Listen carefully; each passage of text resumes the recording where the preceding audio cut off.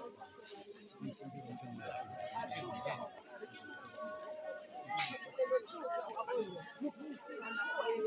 you.